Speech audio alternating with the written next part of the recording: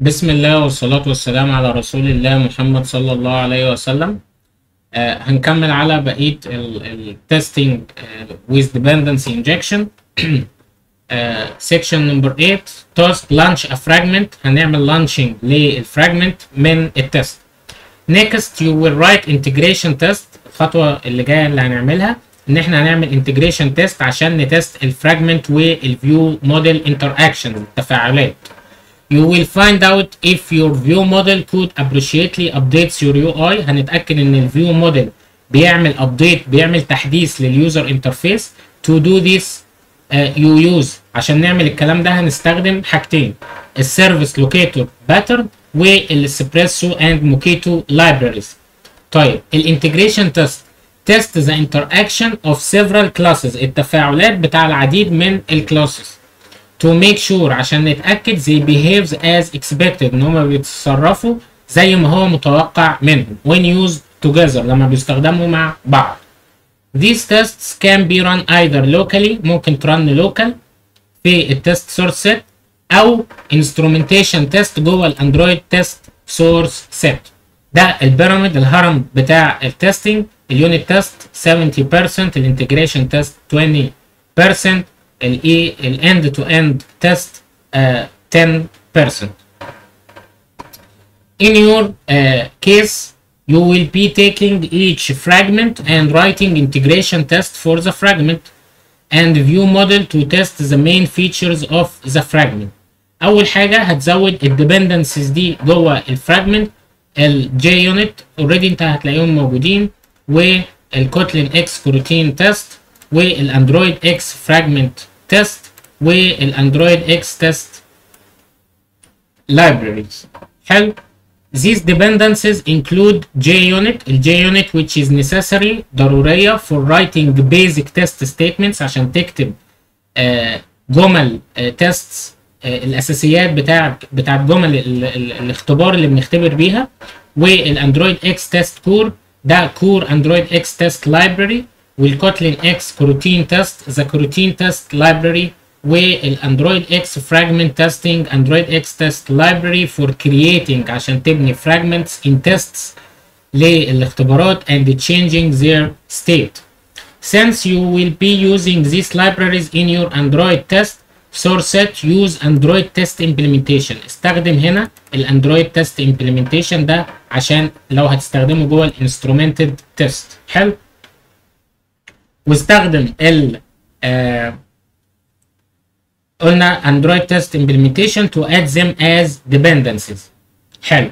step نمبر 2 make a task detail fragment test class هن create class هنسميه task detail fragment test عشان نختبر ال task details fragment the task detail fragment shows information بتوريك معلومات about a single task انت create task ايه حلو. كتبت فيها الايه ال title وال description. هي بتوريك بالتفاصيل ال title اللي انت كتبته وال description كله.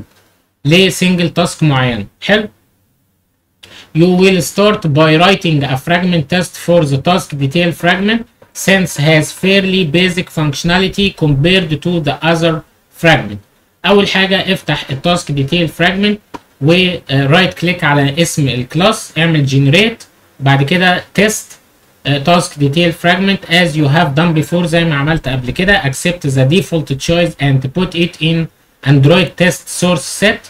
مش جوه ال test source set يبقى نعمله جوه الايه ال Android test أهو ما بين قوسين ال Android إيه test حلو؟ أدي ال task detail fragment test ده ال class اللي إحنا لسه م create ينه طيب. Why put this test in the android test source set ليه حطينا ال test class ده جوه ال Android test مش جوه ال test source set. أول حاجة ال fragments at least the ones you will be testing are visual and make up the user interface هي عبارة عن UI حلو. ال fragment عبارة عن UI حاجة screen بتظهر لل user بيتفاعل معاها. Because of this عشان كده when testing them لما بنيجي نختبرها it helps to render them on a screen. إن إحنا نعمل لها ريندر على السكرين ونشوفها.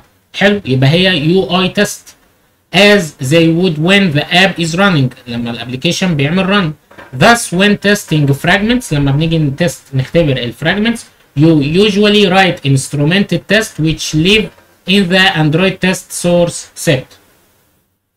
As a general rule of thumb, if you are testing something visual, آه لو بتست بتختبر شيء فيجوال مرئي يعني بتشوفه بعينك run it as instrumented test ده اعمل له run آه كأنه instrumented test جوه ال Android test إيه library حاجة مش بتشوفها بعينك يبقى دي آه unit test بتستخدمها جوه الايه ال test source set حلو؟ طيب add the following annotations to the task detail fragment. جوه ال task detail fragment test هتعمل annotation at run with و at medium test.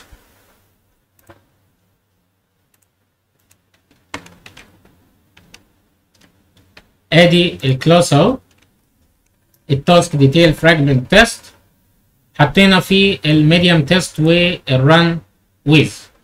طيب. The purpose of these annotations الغرض من ال annotations دي إيه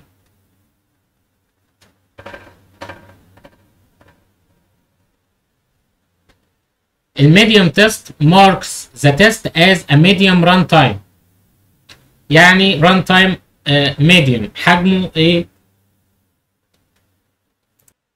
متوسط. Integration test versus عكس ال small test unit test and at large test end to end test.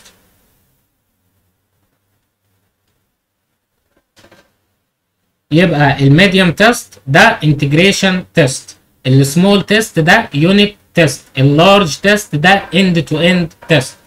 This helps you group and choose which size of test to run. ده بيساعدك إنك uh, تعمل group مجموعة وتختار أنهي حجم test هتعمل له run. ال at run with android JUnit annotation ده used in any class بيستخدم في أي class بيستخدم ال AndroidX Test. حلو؟ طيب عايزين نعمل launch لل fragment from a test من ال test class بتاعنا. In this task you are going to launch task detail fragment هتعمل uh, launching هتفتح التاسك detail fragment باستخدام الاندرويد اكس تيستنج لايبراري الفراجمنت سيناريو is a class هو عبارة عن class from android x test من اللايبراري اللي اسمها android x test that wraps around the fragment and gives you direct control over the fragment's life cycle. uh, بيمنحك تحكم إيه؟ مباشر لدورة ال life cycle بتاعة ال fragment for testing عشان تعمل test to write tests for fragments عشان تكتب test لل fragment بت create fragment scenario for the fragment you are testing. لل fragment اللي انت بتعمل لها test في الحالة بتاعتنا اللي هي ال task detail إيه؟ fragment. حلو.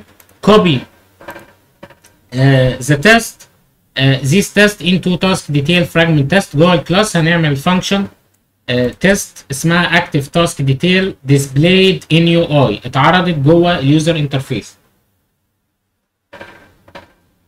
ادي ال given ان هو add عمل add لل task جديده وب pass لها ال arguments بتاعتها val bundle equal task detail fragment args active task dot id dot to bundle ولانش فراجمنت ان كونتينر وبصاله التاسك ديتيل فراجمنت طيب this above code الكود اللي فوق ده creates a task carried تاسكايه creates a bundle و carried bundle which represent the fragment arguments حلو for the tasks that get passed into the fragment واللانش fragment in container دي function عبارة عن function creates a fragment scenario With this bundle. بت create fragment scenario بال bundle ده وبالسيم ده اللي مبعوث ال bundle دي حلو اللي أنا زودت فيها آه الكلام ده والسيم بتاع ال application supplying the theme is necessary. إنك تعمل supply للثيم ضرور ضروري because fragment usually get their theming from their parent activity. عشان عادة ال fragments بتحصل على ال theming بتاعها من ال parent activity حلو when using fragment scenario لما بتيجي تستخدم الفراجمنت سيناريو your fragment is launched inside a generic empty activity بيحصل لها لانش بتفتح من خلال generic activity uh, uh, activity فاضية so that it's properly isolated from activity code You are just testing the fragment code not the associated activity انت بس بتست ال- الكود اللي موجود جوه الفراجمنت مش ال associated activity the same parameters allows you انك تباص السيم كبارامتر بيسمح لك to supply the correct scene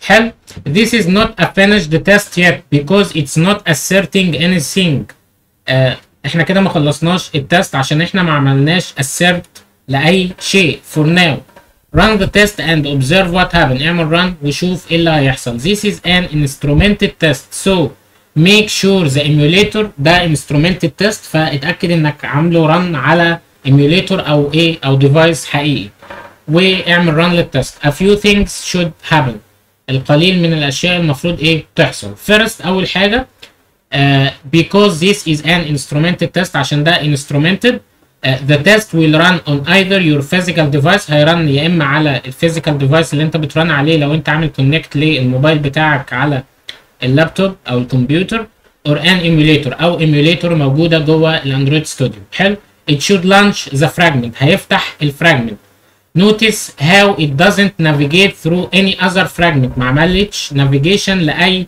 fragment or have any menus associated with the activity It is just the fragment. هي مجرد ال fragment tip if you need to slow your test لو عايز آه، ال test بي run بسرعة شوية. لو انت عايز تبطئه شوية عشان تعرف تشوف إيه اللي بيحصل ممكن تعمل إيه؟ You can add Thread.sleep آه، 2000 هتخليه إيه؟ ي- يقل يقلل ال run بتاعه ثانيتين. حلو؟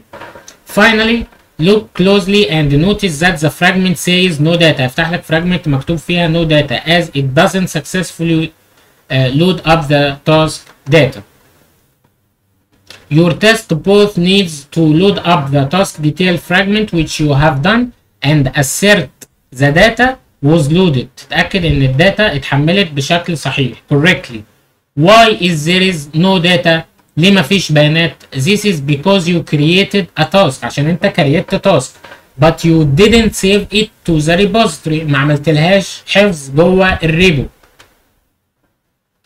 حلو add test function uh, active task detail displayed in uh, UI val active task equal task وبصلنا البارامترز بتاعتنا وبعد كده عملنا الباندل وبعد كده عملنا launch fragment in a container you have this fake repository حلو but you need some way to replace your real repository عايز طريقة تبدل بيها الريل ريبو with your fake بالفيك اللي انت عملتها with your fake one for your fragment you will do this next هنعمل الكلام ده في الخطوة اللي جاية هنكمل على السكشن اللي جاي في الفيديو اللي جاي